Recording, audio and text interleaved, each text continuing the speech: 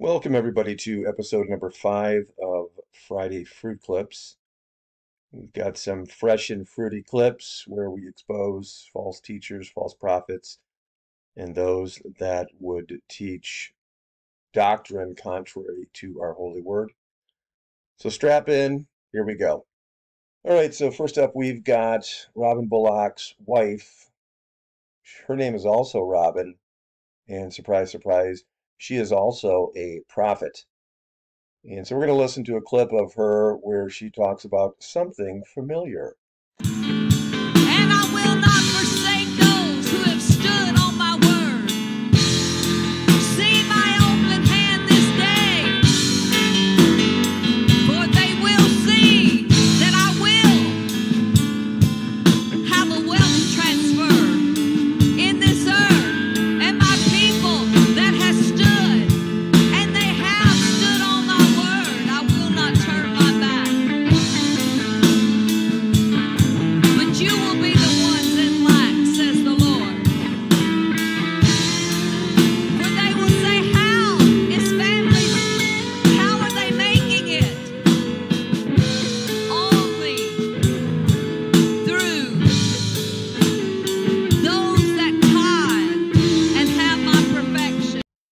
There you go. Here is Mrs. Robin Bullock pulling a page right out of the New Apostolic Reformation's playbook, promising a wealth transfer. But I bet you didn't know there was a condition, and that condition is you must be a tither. Now, if you ever really wanted to know how the Bullocks are worth 20 to 30 to 40 million dollars, well, it's because of stunts like this. Promise the wealth transfer, but in order for you to be a recipient of the wealth transfer, you have to tithe. It's completely unscriptural. There is nowhere in the New Testament which requires us to tithe. And the verses that are in the Old Testament, well, she just takes them out of context. It does not apply to us. But here she wants you to believe that God is speaking through her, where God is saying, I'm going to load up your bank accounts, I'm going to give you land, there's going to be a lot of wealth coming, but you've got to be a tither. This is total manipulation. This is deceitfulness. But what do you think happens in her congregation as well as the millions who listen worldwide? Well, they want to get in on that wealth transfer action. So, uh, you know, they don't want to miss it. So what do they do? Well, they're going they're going to start tithing. They want to be a part of it. Now, who do you think is going to be the recipient of that tithe? Who's going to be the benefactor? Well, the Bullocks. She's the one that's bringing it to you. She wants you to think that God is speaking through her. So they're going to what? Get a ton of money. Otherwise, you're going to miss that wealth transfer. Talk about carnal. This, oh, this is just so played out. How can people be so stupid? It, it really makes me very sad how they manipulate and how they prey upon the weak minded, the unlearned, and the simple, the gullible. But they know that it works, that's why they do it. And I can tell you, God is not speaking through this person or her husband. They are scam artists. And that's why they have a ton of money. They use the name of Jesus Christ to get rich. It's called filthy lucre. Stay away from them. Now, next up, we've got Richard Roberts. Some of you might not recognize him. He is the son of Oral Roberts. Oral Roberts. You remember Oral Roberts? Now, Brother Copeland and your dear wife Lori, would you look at us? Look on us. Hey. Silver and gold have we plenty.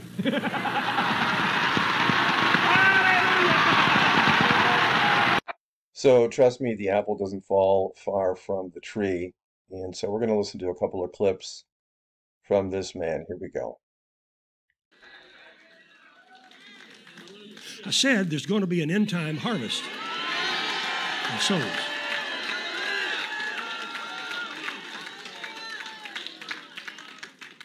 Well, how's that going to happen? It's going to happen right after there is an end time transfer of wealth. And who is that end time transfer coming to? Some of you got your hand up before I finish saying it.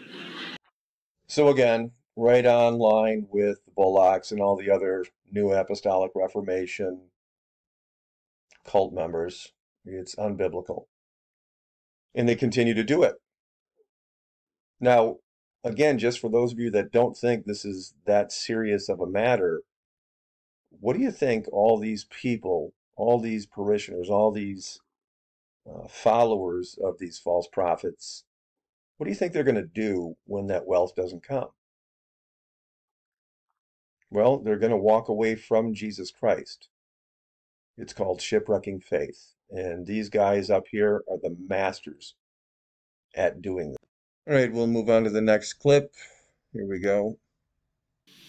And when they had when they had done what the Lord said, when they put the praise and worship team, I can see them with their Fender guitars going up and down the road. I can, I can see, I can see Krista Jordan playing the drums, going. I, I can see, I can see all that. I can, I can, I can see you, Robin, over there on the keyboard in, in front of that army.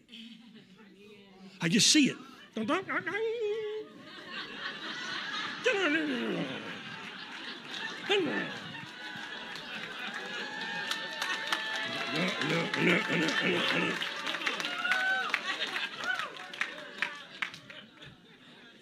You, you, you, you, John the Baptist of today. So I, I just wanted to play this little clip. It's very interesting. Yet another guest uh, preacher coming to Robin's church and, you know, lavishing him with compliments like you, you, you, you, John the Baptist.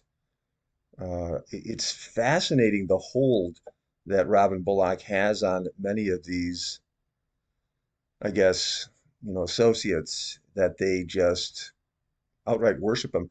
But the good news is that at least uh, Richard Roberts didn't tell any stories about them walking naked anywhere, specifically up in heaven. So that's good. But uh, this continues.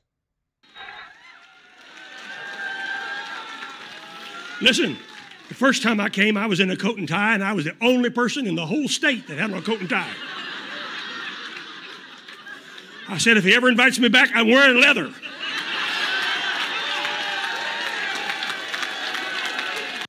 And again, you might be asking, what does this have to do with Jesus Christ and Him crucified? Well, nothing.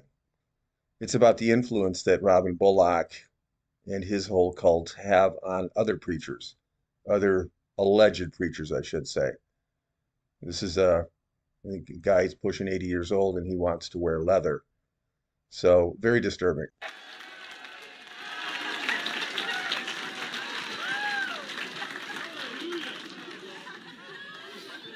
Speaking of that, it's getting hot.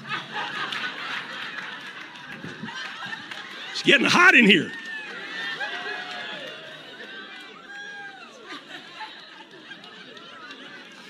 Just look at him over there. Would you leave my coat alone? It's not your size.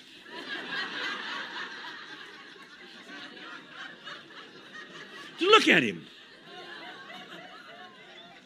All dressed in black leather. Sign here says, I don't do demons.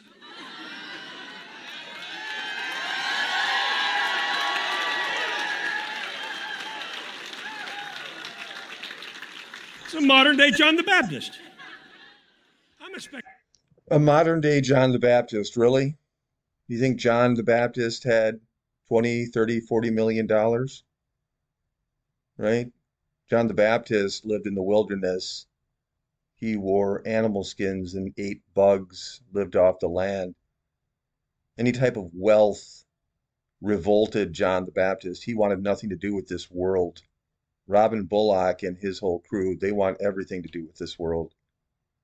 So uh, I just wanted to point this out because, again, you've got these other associate alleged preachers just showering Robin Bullock with praises. He's got some kind of a hold on. This guy's getting all hot and bothered. He had to take his jacket off. Very cultish. All right, we'll play this last clip. There is an end time transfer that's coming, and it's going to finance the end time transfer of souls into the kingdom.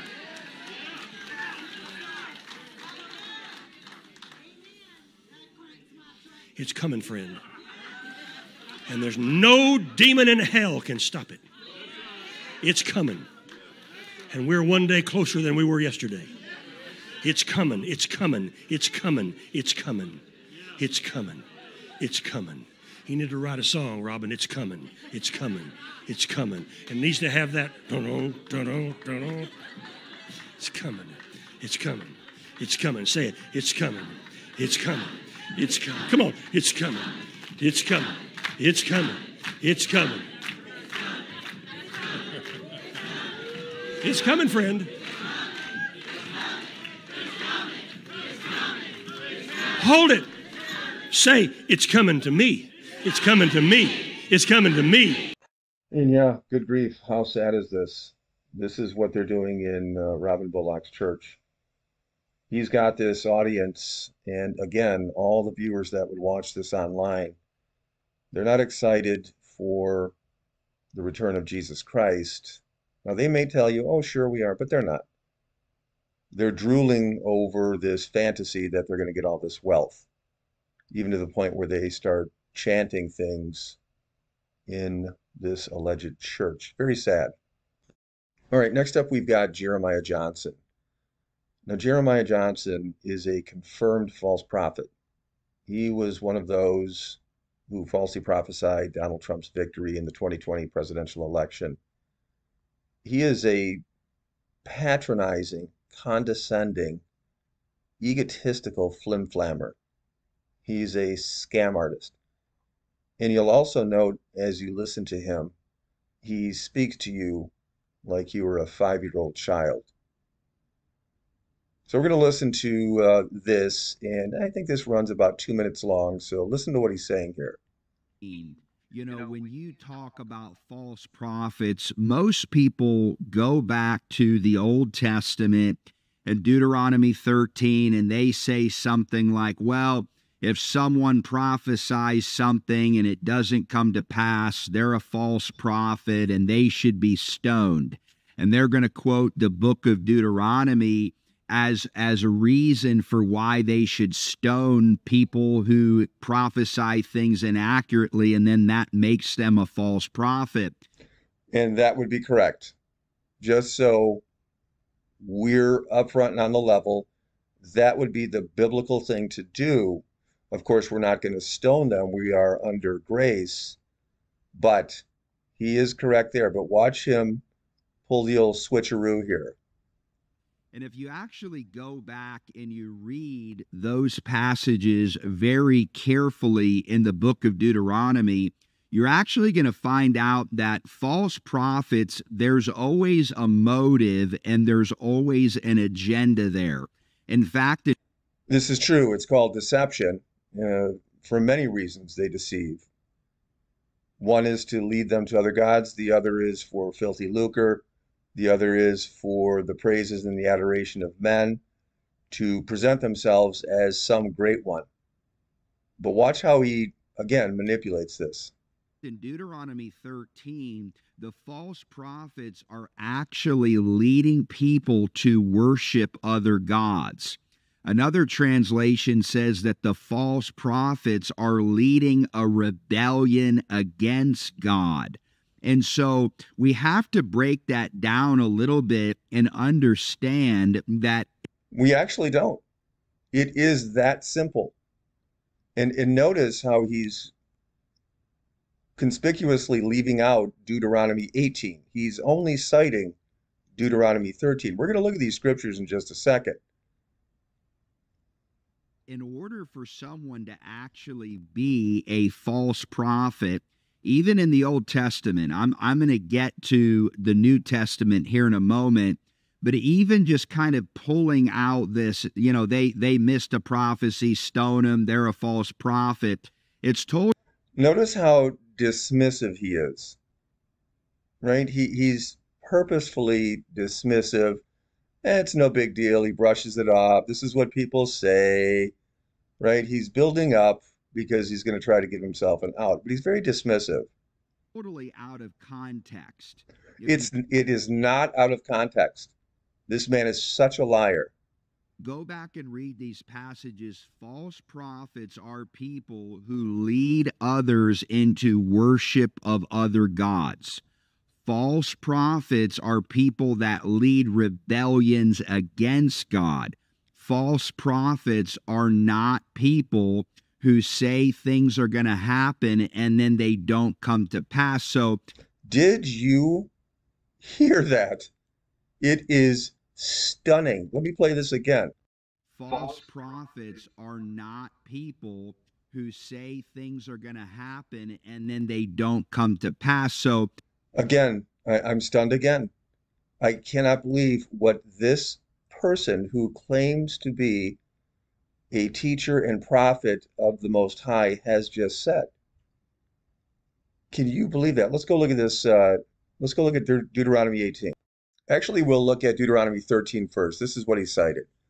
Verse 1 If there arise among you a prophet or a dreamer of dreams, and giveth thee a sign or a wonder, and the sign or the wonder come to pass, whereof he spake unto thee, saying, Let us go after other gods, which thou hast not known, and let us serve them, thou shalt not hearken unto the words of that prophet or that dreamer of dreams.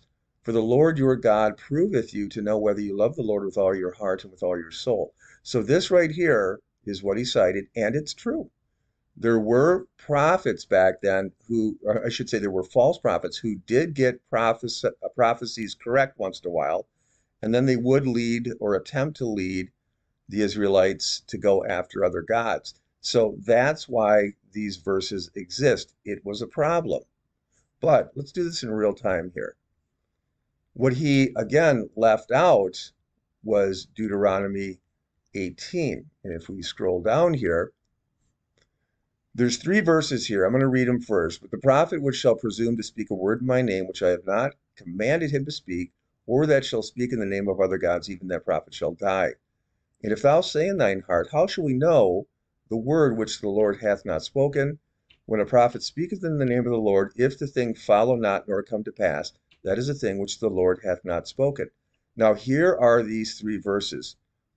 This here in uh, verse 20, this tells you the crime and the judgment of being a false prophet. This, or verse 21, is us. This is us asking God, well, how do we know what a false prophet is or who it is? And then this is the definition. When a prophet speaks in the name of the Lord, if the thing follow not nor come to pass, that is a thing which the Lord hath not spoken. If somebody does this, here is the judgment of God. And it has everything to do with somebody speaking in the name of the Lord and that thing not coming to pass or following. It's everything in Scripture what Jeremiah Johnson just said it wasn't. This man is an absolute deceiver and he is seducing followers of Jesus Christ and teaching them the exact opposite of what Holy Scripture says. And just because he talks like this, like you're some sort of a baby, He thinks that he can get away with it. But we stand against him. He is Antichrist. He's teaching the opposite of what our holy word tells us. It, is so heartbreaking. It, it, and again, I, I want to pause here because I want to give my reaction in real time. To watch these wolves prey, genuinely prey upon the gullible, the simple minded, the unlearned is atrocious. Pray, if you're if you're a praying person, please pray that this man would repent. What he just said is pure evil, and I'm not overstating that fact. When you have a wolf come in the end times here, or for that matter, any time, and preach the opposite of what God tells us in His holy word, it's evil. It is absolutely evil. And he does this so he can give himself an out. He's telling you if I prophesy anything in the future and it doesn't come to pass, well, you can't be obedient to Deuteronomy 18 and at, at the very least not fear him, but by all means, even according to the New Testament, reject him. He's saying you can't do that. I might prophesy something and it might not come to pass. oh well, we just we just all move on. It is again stunning. Now Jeremiah Johnson is not alone on this exact same subject. Here you've got Captain Kunneman, and he's pretty much asked the same thing. Let's take a listen to what he says. Pastor Hank, please take this for a minute and explain how people can make sure things are biblical and true, and how to know the difference between a uh, false prophet and an accurate one. You know, listen, um, one of the things that people have is a misunderstanding, unfortunately, about what a true prophet is and what a false prophet is. See how he starts there? Many people have a misunderstanding. They actually don't. But this is manipulation in real time. And uh, of course, in the Old Testament, what defined a false prophet, if you read the scriptures in Deuteronomy uh, 13 and and 18, it was talking about those that led people away from the Lord to go after other gods. It wasn't so much based on whether their words were accurate or. No, it's actually both. But again, look how dismissive he is. It wasn't so much, you know, on whether their words were accurate. No, that's a lie. It was entirely based upon that.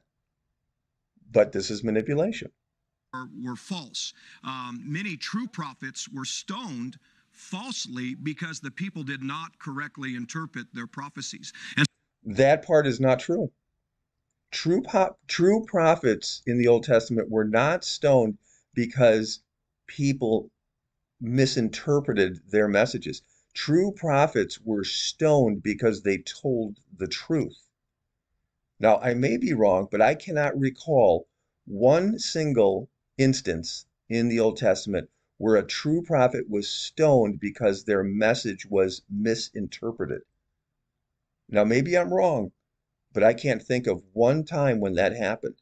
They were stoned because they told the truth, and the kings and the princes and the magistrates, whoever they, the true prophets were prophesying to, uh, they gave their words from God, and uh, the kings and the princes didn't like it.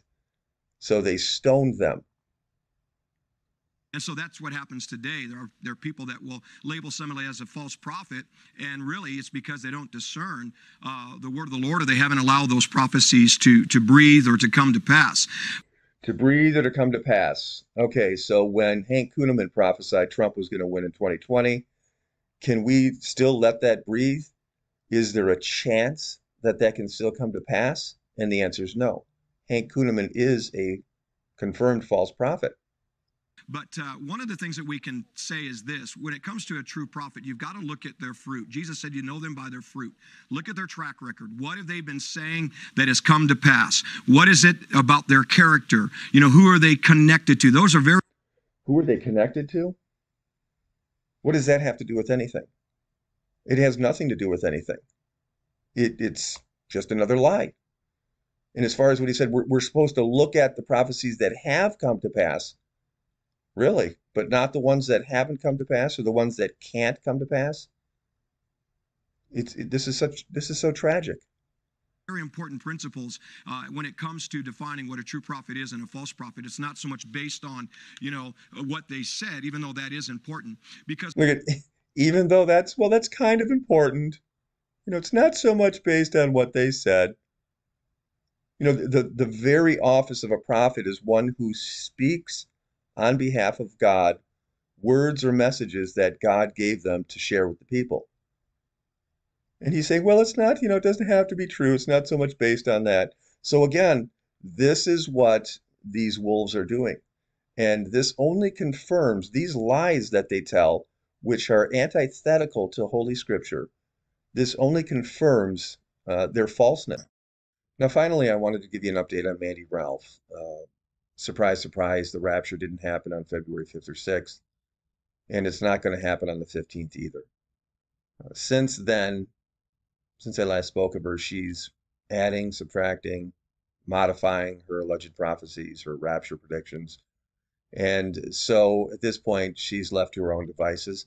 I, I, I truly think she's nothing more than a troll who has no fear of the living God and uh, contrary to what she said, we also know that she will not admit she's a false prophet. She will not take down her channel because this is what they do.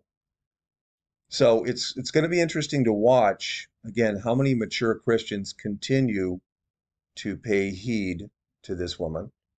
Uh, but at this point, uh, she has demonstrated that she is indeed Second Corinthians chapter 11, for such are false apostles, deceitful workers, transforming themselves into the apostles of Christ, and no marvel, for Satan himself is transformed into an angel of light. Therefore, it is no great thing if his ministers also be transformed as the ministers of righteousness, whose end shall be according to their works. Mandy Ralph's works are as evil as one can get. She is actively shipwrecking faith, and she does not care. She has no fear of God. So, with that, uh, certainly pray for Mandy because what she's doing is uh, just despicable. So, that's going to wrap up this episode of Friday Fruit Clips. Certainly pray for all these people that they would stop lying in the name of Jesus Christ, that they would stop deceiving and come back to the truth of Jesus Christ. Until next time.